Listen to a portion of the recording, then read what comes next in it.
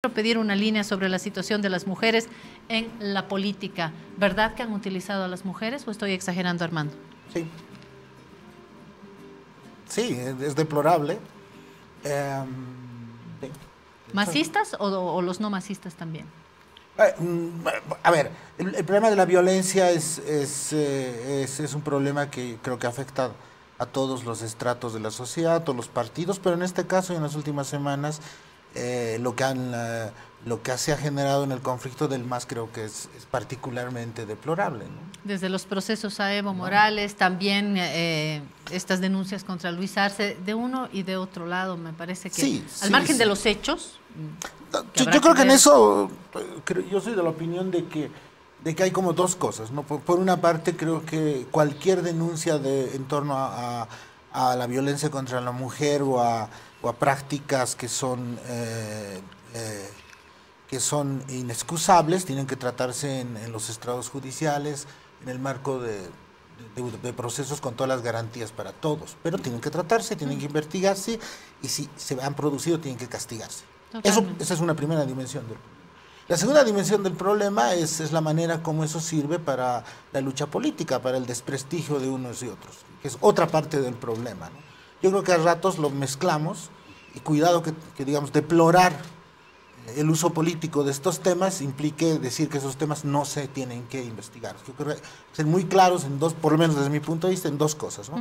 Cualquier tipo de, de, de situación que tiene que ver con violencia contra las mujeres y agravios y eso que tienen que ver con aspectos penales, tienen que tratarse, la justicia tiene que investigarlos, tiene que eh, encontrarse la, la, tiene que identificarse lo que pasó realmente y sancionarse si, si es necesario. y en segundo lugar, la política y los medios tienen que tratar estos temas con un mínimo de decencia, lo que no ha estado pasando. Así es, eh, eso iba a decir, los medios no son controlados siempre por la justicia. Podemos ser apretados por la justicia, pero no controlados en ese sentido. Lourdes Montero, Yerko, dice, el momento que vivimos en la batalla política por el liderazgo interno del partido de gobierno es uno de los más detestables e indignos de su historia.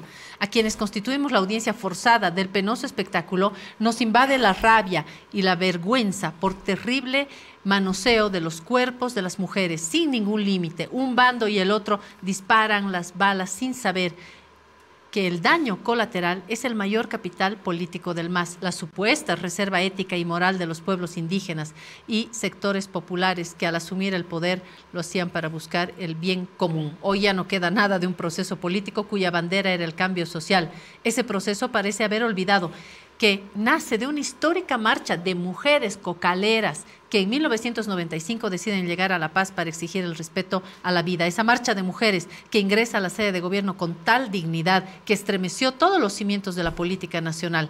Esas mujeres que aceptaban ir al frente de las confrontaciones callejeras porque supuestamente así la policía o los militares los golpearían menos. ¿Cuántas veces hemos visto mujeres poniendo el pecho a los tanques en el alto hierro? Pero la narración de Montero indica claramente que no era con su consentimiento. Y a mí eso es lo que me parece abominable de la sociedad boliviana o de las multisociedades bolivianas que no respetan el consentimiento de la mujer. Eh, cuando estudiamos el desarrollo de la política, eh, organizaciones políticas, partidarias, los procesos eleccionarios y cómo intervienen las mujeres, claramente tú te puedes dar cuenta que el 80% de las listas están configuradas sin el consentimiento de las mujeres que participan en esas listas para darle básicamente la credibilidad a las organizaciones políticas o por lo menos la legitimidad de participar en esos procesos electorales. Si tu participación de entrada no es consensuada, o sea, no tiene consentimiento, entonces ¿cómo tu actividad, tanto sexual, familiar, como política, como profesional, va a tener algún tipo de valor? Segundo elemento de lo que es dramático en la sociedad boliviana, lo que el más hace precisamente es eso, potencia lo que la sociedad es en este país. Eh, la mujer es un botín político, la mujer es un botín de guerra y esto no tiene nada que ver eh, únicamente con lo que es una forma de pensar y hacer política, sino que es algo que está presente desde el primitivismo puro de lo que es la, masculinidad beligerante. George Vigarello lo decía, tiene un texto muy interesante al respecto de lo que son las violaciones y por qué el efecto de, eh, usar los cuerpos de las mujeres, ya sea como botín de guerra o en estos casos básicamente como una especie de premio al esfuerzo político, de ser el representante con el mayor eh, grado de popularidad y también ser el, gran modificador de la historia de Bolivia. El elemento de que la mujer es un botín, es como una especie de objeto, es un sujeto además de, de trofeo, claramente muestra lo que la sociedad es.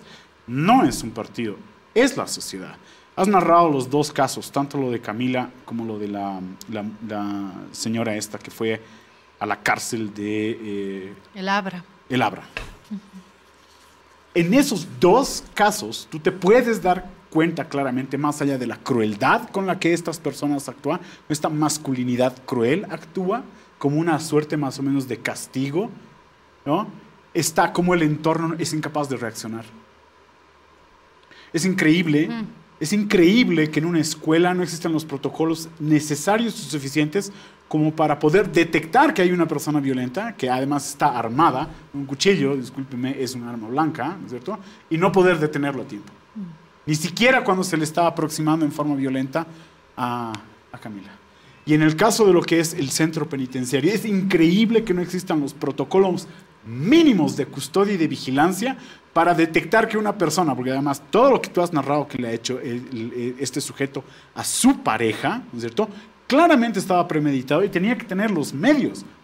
Porque no es, yo no ando con un bidón de gasolina en la mano, ¿me entienden? O sea, tengo que haber preparado eso. Por supuesto. Entonces, y, que el sistema de seguridad del centro penitenciario no se hubiera dado cuenta que esto podría ocurrir, da a entender que como sociedad, mm. Como sociedad, no es que el hombre quiere, o el hombre puede. Al hombre lo dejan hacer esas cosas. Ayer Lourdes Montero eh, nos dijo que la activista María Galindo está mm, buscando ingresar a la cárcel para eh, entrevistar a los feminicidas para saber cómo andan en la cabeza, qué es lo que eh, está circulando en su cabeza para actuar de esa manera.